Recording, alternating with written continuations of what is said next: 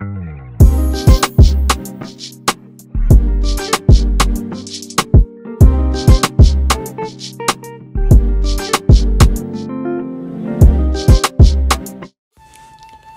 Okay, YouTube, welcome back to the show. You already know it's M3TV 360. Make sure you go subscribe, like, share, comment, and drop it down below. So yeah, today we're back with another video for Tattoo Tuesday.